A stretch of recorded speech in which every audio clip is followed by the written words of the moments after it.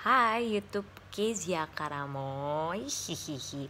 Ketemu lagi sama aku. Oke hari ini aku pengen jawab pertanyaan kalian Yang udah kalian uh, tulis Udah kalian komen. Bentar ya aku buka dulu. Nih kalian udah komen di vlog aku yang ini. Kalian nggak? Tuh. Thank you banget, banyak banget pertanyaan kalian dan gue akan jawab satu persatu di sini. Eh nggak satu persatu juga sih, gue jawab uh, lima lah lima okay. uh, eh, dan untuk kalian yang pada nanya kenapa Kezia pakai lipstick ini? Gue emang suka banget lipstick yang warnanya unik-unik. Karena menurut gue anti mainstream. Hahaha nggak juga sih. Gue pakainya kalau misalnya Elvat lagi tidur nama minyak bebas bergaya. Karena memang gue orangnya tuh suka banget make up gitu. Suka banget pakai lipstick yang aneh-aneh. Jadi ya di vlog gue aja gue liatin kalau gue pakai lipstick ini. Keren gak sih tapi kalau pakai lipstick ini seharusnya sih nggak banyak ngomong jadi kayak yang cool gitu. Oke langsung aja ya. Lanjut ke pertanyaan pertama. Gue akan pilih acak pertanyaan pertama. Kak kapan terakhir ke Manado? Kak jelasin dong silsilah kakak bisa menjadi orang Manado. Terakhir ke Manado itu kalau nggak salah hmm, awal akhir bulan deh akhir bulan akhir bulan ini uh, terakhir gue ke Manado. Uh, terus abis itu silsilah keluarga yang memang uh, orang tua kandung gue dua-duanya asalnya dari Manado. Tapi kalau gue lahirnya di Jakarta. Cuman ya gue yakin dan percaya kalau gue itu orang Manado. Oke okay, pertanyaan kedua. Kakak suka makanan apa? Minuman apa? Sama kalau di Palangkaraya di PKY dia tulisnya. Kakak suka makanan di resto mana? Alexa pertanyaan dari Alexa.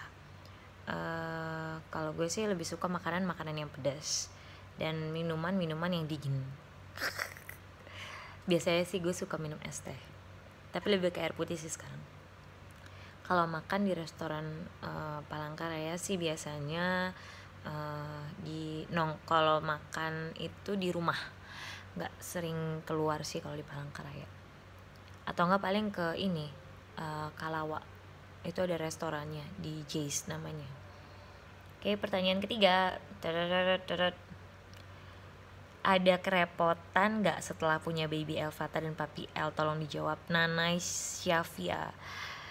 Kerepotan honestly kerepotan hmm, ya karena uh, gue pertama kalinya ngerawat baby Elvata tapi di saat gue repot itu gue seneng banget dan di situ gue banyak belajar kalau memang uh, ternyata gue memang udah menjadi pure seorang wanita sejati. Karena gue udah melahirkan seorang anak dan juga uh, gue sekarang waktunya untuk merawat dia gitu. Dengan keaktifannya L dengan uh, justru yang apa ya hal-hal yang menurut orang mungkin ih anaknya aktif banget sih ya ampun anaknya aduh pasti mamanya capek banget.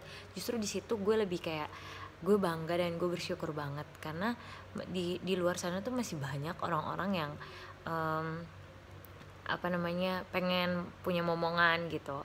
Pengen ngurus anak tapi nggak bisa gitu. Dan kalau gue sekarang gue bersyukur karena gue dikasih kesempatan Tuhan punya El Fatah seperti itu. Jadi gue nggak repot sama sekali. Um, ya oke okay, pertanyaannya udah gue jawab ya. Hmm, kalau papi L nggak sih gue nggak repot karena emang papi L tuh mengayomi gue karena gue orangnya manja. Jadi cocok sama papi L yang uh, dingin sih dia sebenarnya orangnya dingin tapi uh, somehow dia baik. Baiknya tuh yang kayak perhatian yang uh, menurut gue itu yang gue butuhin ini udah pertanyaan keberapa sih? Uh, dua ya? Tiga? Aduh bingung. Yaudah tiga pertanyaan lagi ya. Ini. Nanti El bakal dikenalin gadget nggak saat ah nanti El bakal dikenalin dengan gadget saat umur berapa? Dari Ju dari Julius Leonardo. Dikenalin gadget um, kayaknya sih gue akan tahan-tahan untuk kenalin L gadget. Soalnya uh, kalau dari uh, apa ya dari yang gue cari-cari infonya karena gadget itu bisa memperlambat pertumbuhannya pertumbuhan seorang anak gitu. Jadi menurut gue lebih baik gue beliin dia mainan mainan yang edukasi atau nggak main yang memancing imajinasinya dia untuk lebih baik lagi gitu daripada gue beliin gadget gue liatin mainan. Kalau misalnya dia mau nonton atau apa ada TV gitu. Seperti itu. Thank you Julius pertanyaannya. Bagus. Uh, rencana mau nambah anak lagi nggak kak? Dari Kezia Abigail. Nambah anak lagi sekarang sih gue lagi pengen fokusnya uh, jagain L gitu. Karena menurut gue Elvata ini lagi aktif-aktifnya jadi lebih baik pos-posin dulu lah jaga L. Nanti kalau misalnya uh, uh, Tuhan kasih kesempatan lagi untuk punya anak ya gue happy-happy aja sih terima-terima aja seperti itu. Oke okay, dan Kangen gak sama personel Cherry Bell yang jarang ngumpul sama kakak? Dari Sherina. Kangen sih pastinya kangen ya. Uh, Karena memang dulu kan sampai tiga tahunan kita uh, tinggal bareng gitu.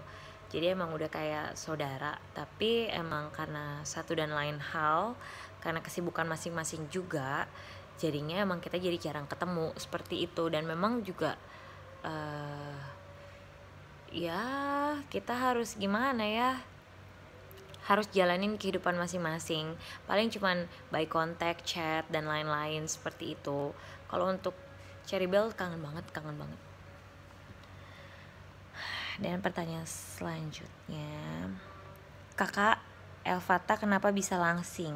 Dari Raisya Nur Simbolon.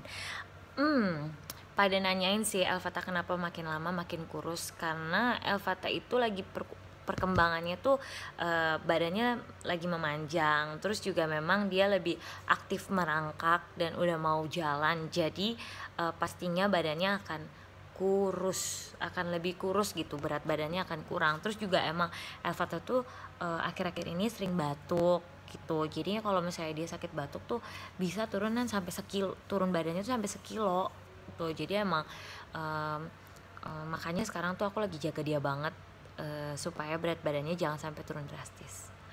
Elvata bangun. Oke, itu dia uh, jawaban dari gue.